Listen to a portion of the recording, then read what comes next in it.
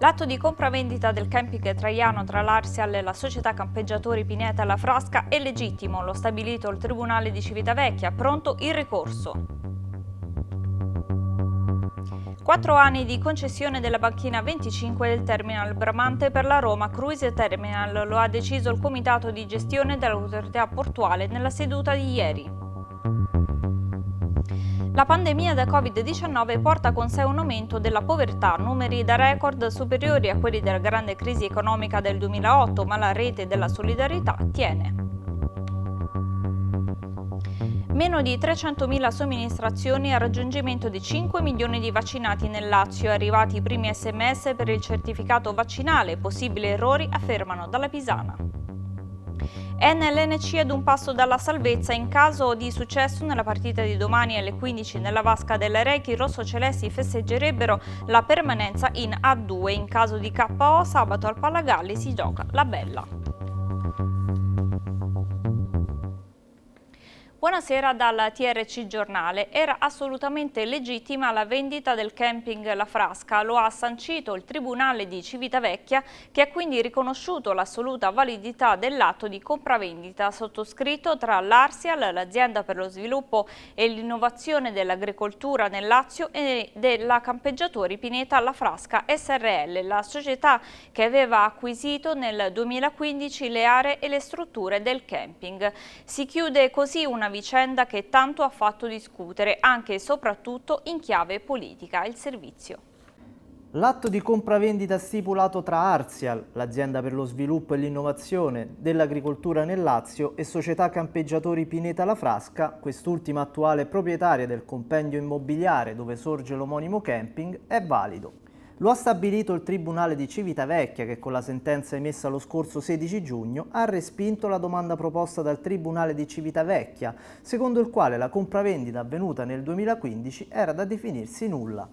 Si tratta di un risultato importante, il commento della società, con il quale è stata definita una vicenda che da quasi quattro anni ha avuto gravi ripercussioni per la campeggiatori Pineta La Frasca, sia in termini di immagine sia in termini di investimenti perduti. Nel corso di questi quasi quattro anni di controversie giudiziarie abbiamo sempre riposto la nostra più totale fiducia nell'operato della magistratura, che con la decisione dei giorni scorsi ha confermato la legittimità dell'operato della nostra società. Resta ovviamente il fatto che a subire gli effetti negativi dell'iniziativa giudiziaria intrapresa dall'amministrazione comunale è stata l'intera comunità locale che ha visto inevitabilmente frustrate nuove occasioni turistiche. La società, che ha già calendarizzato l'avvio dei lavori di ristrutturazione della struttura turistica, valuterà comunque eventuali iniziative per il ristoro dei pregiudizi subiti. Si tratta di un nuovo capitolo della vicenda del camping Traiano, più conosciuto come il campeggio della Frasca, esplosa nel 2015 e tornata di attualità nei mesi scorsi, quando l'associazione Caponnetto aveva portato all'attenzione della collettività la messa in vendita del camping al costo di 5.600.000 euro da parte della società Campeggiatori Pineta La Frasca, nonostante fosse in corso al Tribunale di Civitavecchia un procedimento per chiarire la reale legittimità della vendita avvenuta nel 2015 da parte parte dell'Arsial. La sentenza dei giorni scorsi va in un verso, almeno in primo grado. Dall'associazione Caponnetto fanno sapere che in attesa che il Comune si pronunci è pronto a presentare ricorso in appello. È in discussione in Commissione Urbanistica il progetto di riqualificazione della frasca presentato dall'autorità portuale sui 3 km circa di costa che interesserebbero importantissimi ritrovamenti archeologici e monumentali. La delibera sarà discussa prossimamente in Consiglio Comunale per acquisire la variante a verde speciale che consente la fruibilità per tutte le attività tradizionali legate a quel tratto di litorale tanto amato dai civitavecchiesi. Vogliamo fare della Frasca anche un punto di attrazione turistica, afferma il gruppo consigliare del Partito Democratico. Non sarà dunque un santuario inaccessibile, ma un parco con le dovute regole comportamentali e la cura che ne consegue, ma questo dovrà essere meglio definito dal bando successivo all'approvazione della delibera che potrà dare posti di lavoro finalmente non legati ad attività che penalizzano l'ambiente. Preannunciando il nostro convinto convinto sostegno all'atto che sarà prossimamente all'attenzione del Consiglio Comunale, ringraziamo il Presidente Pino Musolino e tutti coloro che da Molo Vespucci hanno profuso energie ed idee.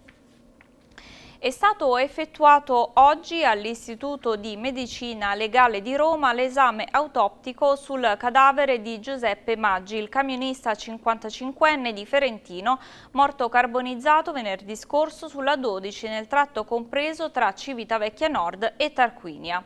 Difficile che dall'autopsia disposta dalla magistratura possano comunque emergere elementi di particolare novità nell'inchiesta attesa ad accertare le cause del terribile incidente. Potrebbero viceversa risultare determinanti i rilievi di carattere tecnico sul mezzo uscito di strada che sono attualmente in corso.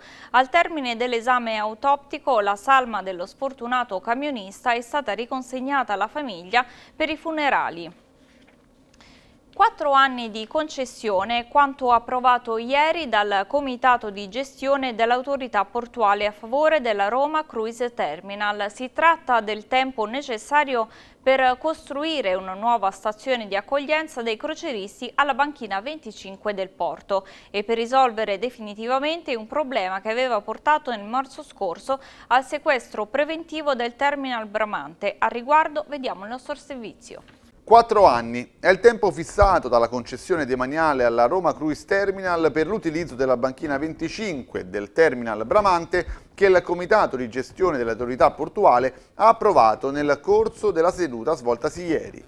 Era uno dei primi impegni che nel marzo scorso si era assunto l'organismo nei primi giorni del suo insediamento, all'indomani del sequestro preventivo e del successivo dissequestro del terminal da parte della magistratura locale, che aveva contestato una situazione di perdurante regime di prorogazio. Quello che può definirsi il Consiglio di amministrazione dell'Autority ha deliberato che il terminal sia nuovamente dato in concessione alla RCT per il periodo massimo di quattro anni, entro cui la società delle crociere si è impegnata a realizzare la seconda stazione marittima croceristica sull'antemurale, con la traslazione dell'attuale terminal Bramante. Abbiamo sanato, dichiara il presidente dell'ente Pino Musolino, nei tempi stabiliti una situazione incresciosa che abbiamo ereditato e che si protraeva da tempo attraverso una soluzione che contempera l'interesse preminente della corretta destinazione e l'utilizzo dei beni pubblici con quelli degli operatori e investitori, soprattutto in questo momento di profonda crisi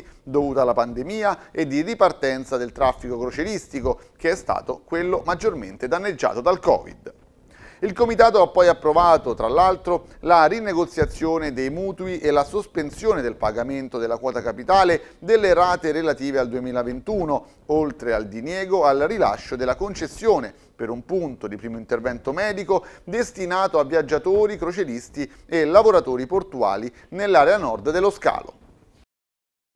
La crisi occupazionale della nostra città si acuisce ogni minuto di più. Il grido d'allarme arriva da Potere al Popolo che parla del presidio degli operai della Minosse e dei dipendenti di PAS e delle vertenze cittadine. In particolare Potere al Popolo parla di situazione intollerabile per quanto riguarda i lavoratori di Minosse di carenza di organico insostenibile per quanto riguarda PAS. Quello che ci stupisce enormemente, concludono, è l'immobilismo delle istituzioni locali e della politica cittadina. Quello che è accaduto ieri durante l'incontro con il presidente della DSP è inaccettabile, lo afferma il funzionario regionale della Will Tux Will Stefano Rosignoli in merito al sit-in dei lavoratori della PAS e dall'incontro di ieri all'autorità portuale. Tutti devono contribuire al risanamento della Port Authority Security, prosegue Rosignoli, e fare in modo che rimanga una società in-house, ma se si continuano a togliere servizi si abbia almeno la compiacenza di non considerare la stessa in perdita economica. Per ben due volte è stato silenziato il microfono della Will Tux per non farci mettere in evidenza che il risparmio ed il risanamento di una società non si può ottenere a discapito della sicurezza dei lavoratori dei cittadini. Siamo stati invitati dal Presidente a fare un esposto alla Procura della Repubblica, prendiamo le sue provocazioni come consiglio e faremo le nostre valutazioni. Ieri presso la sede della CGL si sono incontrate le aziende cooperative Sant'Agostino e Consorzio Tedeschi e le organizzazioni sindacali Filcams CGL e USB. Le parti hanno sottoscritto un accordo di massima per permettere l'apertura dal 1 luglio dei bagni della Ficoncella, facendo assumere con la formula del contratto a tempo determinato con distacco dalla cooperativa Sant'Agostino al Consorzio Tedeschi, che attualmente detiene il contratto di appalto per le pulizie del comune di Civitavecchia. Cinque lavoratrici fino all'aggiudicazione definitiva del nuovo bando di gara per la gestione del sito. L'accordo prevede poi per tutti i lavoratori eventi diritto il passaggio alle dipendenze della ditta vincitrice del bando di gara che prevederà anche il mantenimento delle clausole sociali previste dall'accordo tra organizzazioni sindacali ed amministrazione comunale. Civitavecchia non fa eccezioni, anzi come sta avvenendo nel resto del paese e anche in città la pandemia ha fatto ulteriormente aumentare il numero delle famiglie in difficoltà.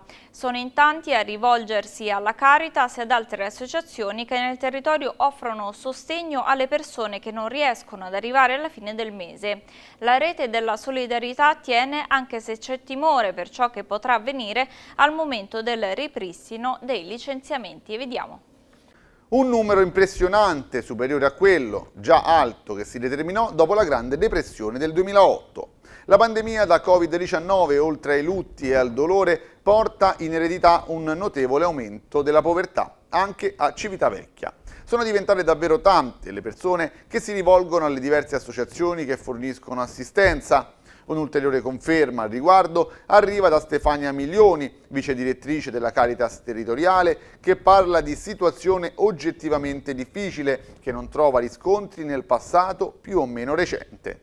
Fortunatamente però la rete di solidarietà messa in piedi all'indomani dell'insorgere della pandemia regge e riesce a far fronte all'incredibile mole di richieste di aiuto grazie soprattutto alle diverse aziende locali che stanno continuando a fornire un sostegno reale.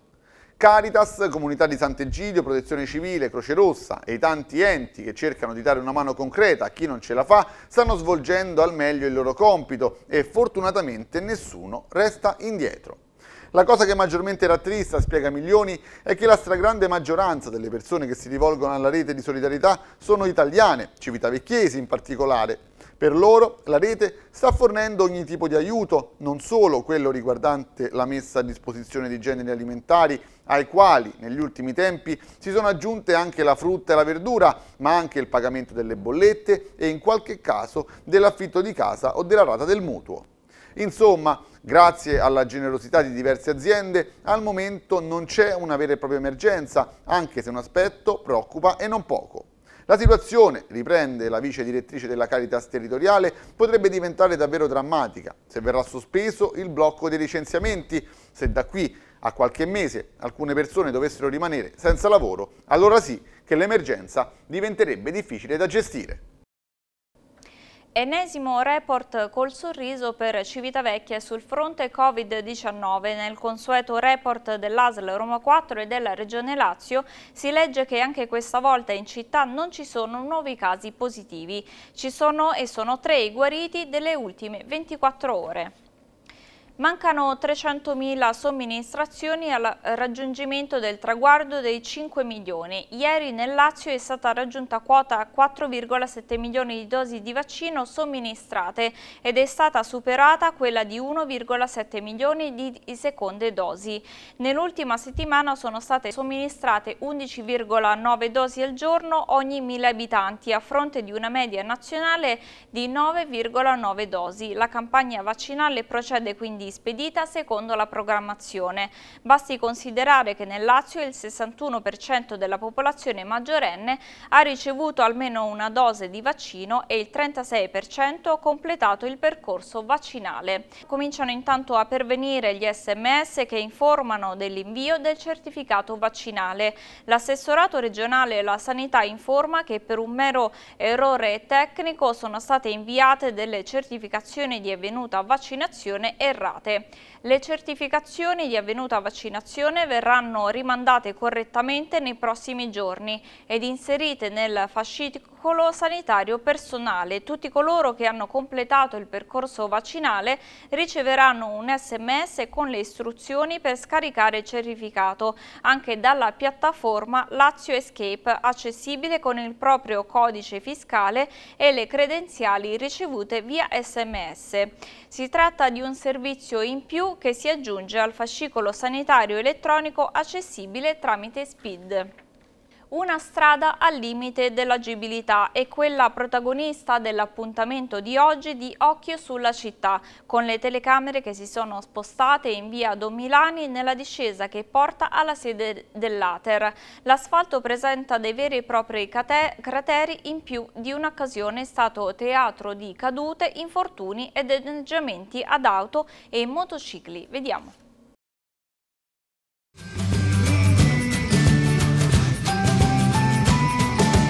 Qui siamo in una traversa eh, di via Don Milani e precisamente la traversa che porta alla sede dell'Ater. Eh, questa è veramente una situazione che mh, mm, a dire grottesca è poco. Mi diceva il signore che è anche caduta una, una persona qualche giorno fa appunto perché qui è veramente una cosa io, sono senza parole perché qualche volta eh, negli anni passati eh, anch'io sono passato in questa strada su questa strada e sono dieci anni che è così sono più di dieci anni non è stata mai mai mai riparata mai mai eh, fatto un intervento veramente è una cosa, io non so, incomprensibile. Molte persone ci hanno chiamato appunto perché è una situazione che ormai va avanti da, da molto tempo, non, non si riesce a passare. Facciamo un altro appello?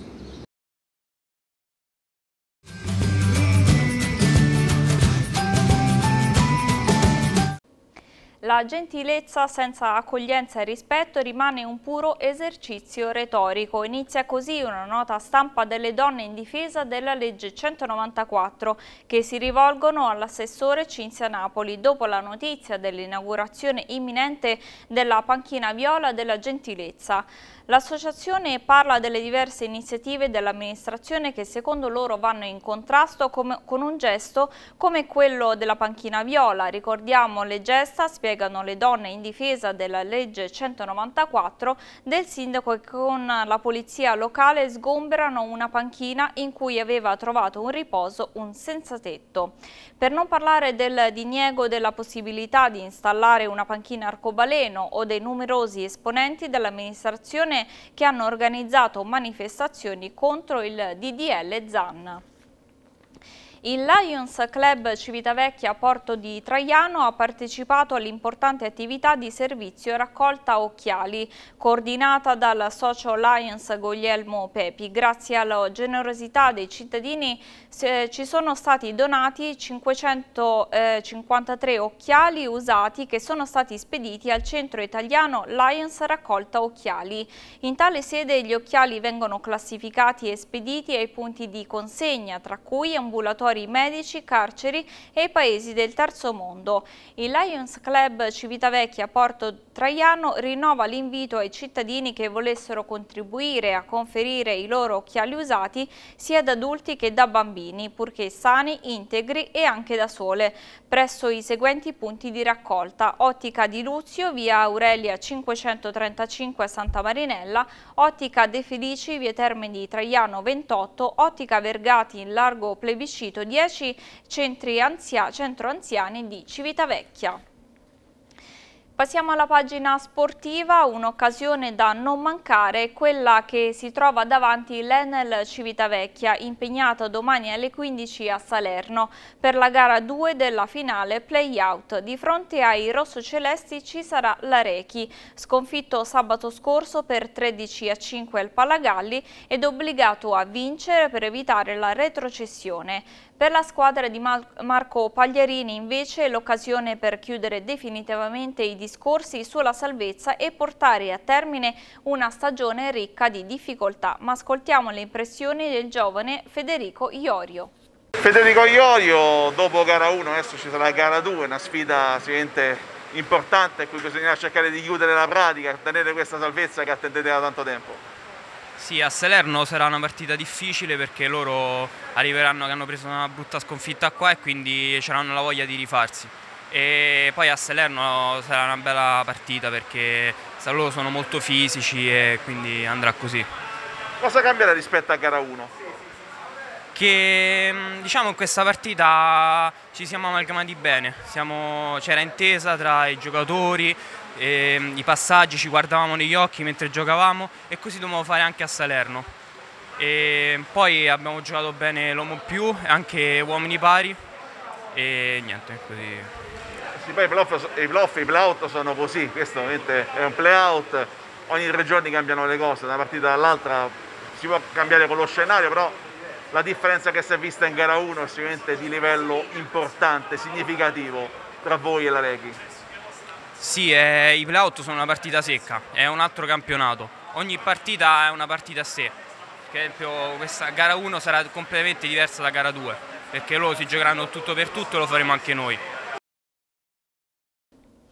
Sale l'attesa per il match di Emiliano Marsili. Venerdì il Tizzo sarà alla Marina per affrontare il belga Stéphane Jamoyer per la cintura del Mediterraneo IBO. L'incontro che potrà vedere la presenza massima di 400 spettatori a causa delle limitazioni legate al Covid sarà trasmesso in diretta da Gazzetta TV, ovvero la televisione web del popolare giornale sportivo Rosa. La riunione avrà inizio alle 20.30, ci saranno diversi combattimenti prima di quello del pugile allenato da Mario Massai.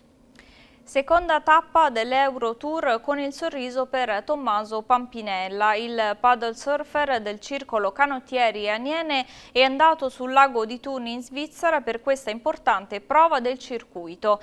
18 i chilometri di gara attraversando l'intero lago con vento leggero in un posto da sogno. Pampinella ha chiuso con l'undicesimo posto sfiorando la possibilità di entrare nella top 10. Sono felice per il risultato ottenuto, dichiara Tommaso Tommaso Pampinella per aver rappresentato l'Italia nelle prime posizioni in una gara combattuta fino alla fine. Ed era l'ultima notizia, termina qui questa edizione del nostro telegiornale, ma vi ricordo prima di salutarvi di seguirci anche sui nostri canali social Facebook e YouTube, oltre che sul nostro sito www.trcgiornale.it. È davvero tutto, grazie per averci seguito e buona serata.